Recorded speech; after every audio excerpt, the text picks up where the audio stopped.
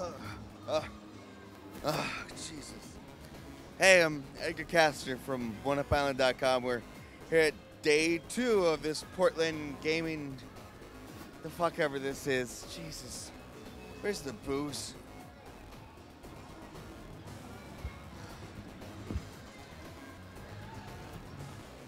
Hello everyone, I'm Edger Kastner. I'm here with a character from Super Mario Brothers 2. Uh, sir, it looks like you finally escaped your dream video game nightmare prison. Uh, how do you feel?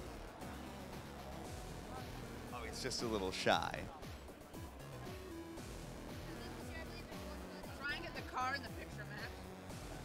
It's Kit from Knight Rider. Wait, no, you should be talking. Talking.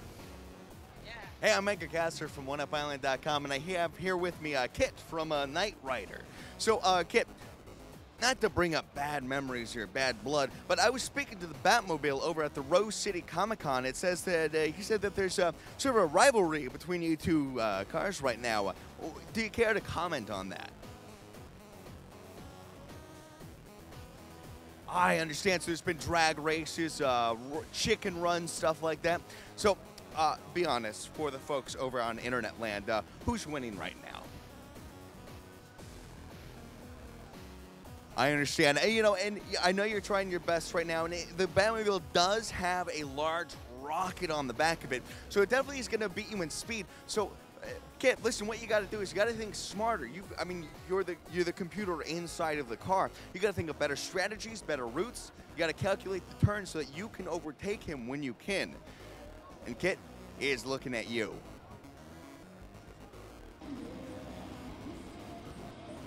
And how do you feel? How do you feel about the recent Pac-Man revival, uh, minus you after the divorce? Good. How's uh, how's uh, post uh, how's post menopause life treating you? Good. How much for a blowjob? Good. Trick question. It's a hand job. and I have with me here two cosplayers here at um, Portland Gaming Retro Card Game Avant Garde Expo. Yeah. Um, and uh, you guys are? My name's Amato. I'm Serena. And nice to meet you. So, uh, th- I guess the first question is, what drew you to the, the characters that you're cosplaying as? Um, I guess I always liked Luigi growing up. I was the younger brother. But I wanted to do a more interesting costume than normal Luigi, so Fire Luigi here. Oh, yeah. I had to make this out of green denim. Oh, nice. and uh, you, ma'am? Yeah, and we're married, so his uh, mother-in-law made this for me, actually. Nice. How, and how much would you? How much time would it would you say it took to make your costumes? I don't know. I'm not the one who spent the time on it. Yeah, we, we picked out the material, but then his I will, mother-in-law uh, I- made, no, sewed it. we and helped with design and we such. We made the accessories ourselves, and then we like purchased some extra things like this. I can't remember. It was it was it was a lot of waiting basically. Yeah. Well, yeah, and planning. And uh, and uh, real quickly, um, what, what's the what's the thing you hate uh, you like least about uh, well I guess Super Mario Brothers? I like least about Super Mario Brothers. Um, I don't know. There's only so much replay value in the main games. Um, yeah, once so- you learn the levels. Yeah, though I've always liked Mario 3, where it seems like there's always some extra hidden block somewhere that I didn't know, even though I played it, you know, repeatedly. Oh yeah, it's they definitely packed that game uh, pr- uh, pretty full. And uh, I guess the final question is, uh, if you could take your characters from the Super Mario universe and put them into any other uh, universe in the in the multiverse, uh, which one would it be? I've got to say that's a question I haven't thought much about. um, do you have anything? So, well, I guess we can put it this way: you like them right where they're at. Yeah, that's fine. All right. Well, thank you guys. It's not like the Super Mario universe isn't used for any genre of game already, so there's really no point in putting them anywhere else. That's very true. Wise words by a wise couple. All right, thanks, guys. Thank you. Hi everyone, I'm Mega Caster. Again, as you can see, I'm at the Portland Gaming Retro Avant-Garde Board Game uh, Expo. I'm here. We've got the one and only Mario, the sort of the, the, the mascot of Nintendo and retro gaming as we know it. So Nintendo, how does it feel to be number one? It feels pretty great. You might even call me number one up. That's great. How do you feel about your new games that aren't retro Oh, now? it feels pretty good. Look at all those polygons. Oh, I want to rub them on my body. That's good news, Bar. Looks like you're looking up in the world. Jeez, Jeez, what a jerk. I heard that. Have with me here Uh, I'm an assassin. an assassin. Obviously, you can't give your name, otherwise they might, you know, find you out and uh, assassinate you. Be careful. Exactly. And uh, so, oh, what's what's some of the what's some of your basic gear that you have to use in your job? Uh, knives, uh, boomerangs, more knives, stuff I can't show you because it's got to stay hidden, otherwise other people might see. Uh, the the, the uh, other ninja, uh, sorry, assassin clans. Yeah, well, just everybody in general. If they, if they see it, then they're gonna freak out, and then everyone's gonna be like, "Return!" Exactly. Yeah. So I mean, because if they know you're assassin, they're not going to talk to you. Oh yeah, right? I've got to hide in sight. Exactly. All right. Well, uh, thanks. Careful. All right. Thank you.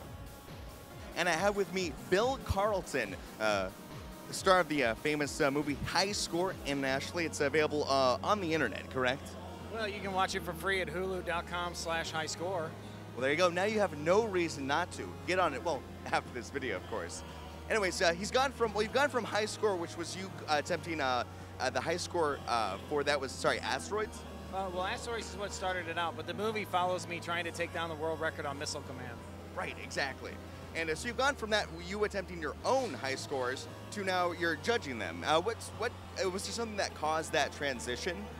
Well, you know, after a number of years of uh, you know, submitting scores and dealing with Twin Galaxies and uh, becoming friends with uh, some of the guys that pull the strings there, um, they have a big, uh, you know, uh, base to pull from for people tracking games in different cities, different states. But when it comes to Portland, there's a couple of them. Uh, myself, Ken House, uh, we can officiate and watch.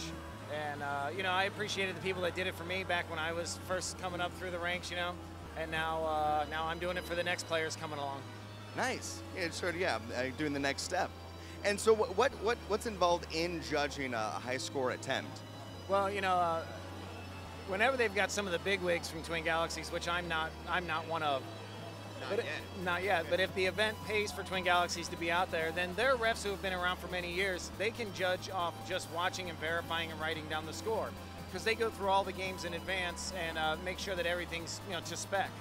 Uh, but in this situation, you can see here that uh, I record everything that's going on, so that that way uh, there's no mistaking what you know every uh, every item.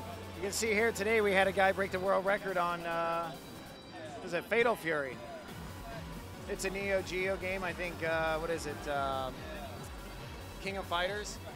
Yeah, in that same John. Uh, that same. Yeah, so you can see that we show it all the way from the beginning, from startup.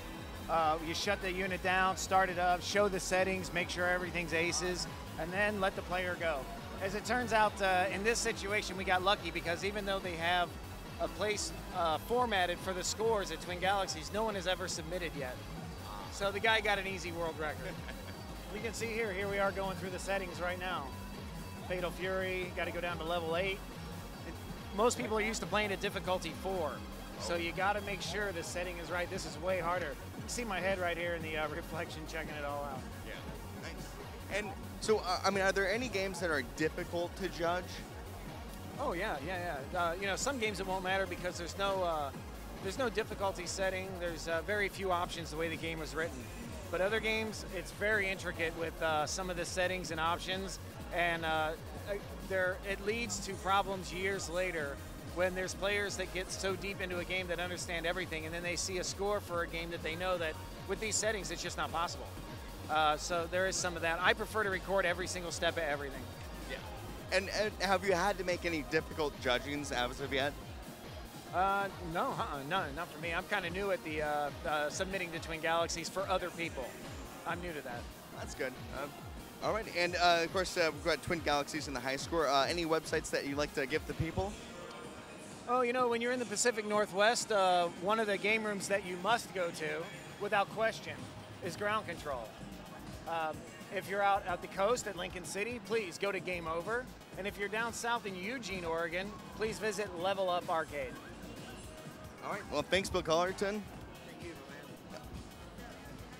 Geeks, nerds, freaks, gizmoids. That's a new one that's uh, hitting the internet. There's a lot of names for people. But you know what I call them? Family. At the Retro Avant Garde Cardboard Box R- Classic Gaming Expo. We all understand each other, even if we're from Nintendo, from Sega, a cousin of Sony, anything. We all understand one thing getting really fucking good deals on cheap games. Yeah! But there's another part, more than just uh, swindling some poor fool who's trying to sell off his game collection so he can go to college. It's also about playing the games, and as you can see here, free arcade is a true arcade. This is Edger Kastner from OneUpIsland.com, signing off.